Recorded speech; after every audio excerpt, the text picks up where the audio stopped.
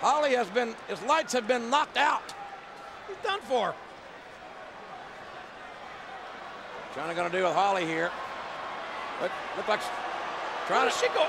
That's a Boston crab. Maybe she's using. Oh, oh! Jericho from behind, grabbing Chyna by the hair and, and driving the ninth wonder of the world down face first. Oh! Flying moonsault by Jericho. And Jericho wins it. Jericho's the undisputed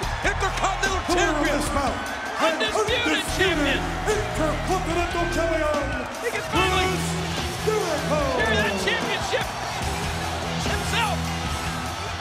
Jericho will leave Madison Square Garden as the undisputed Intercontinental Champion of the World Wrestling Federation, much to the chagrin of Chyna and Hardcore Holly.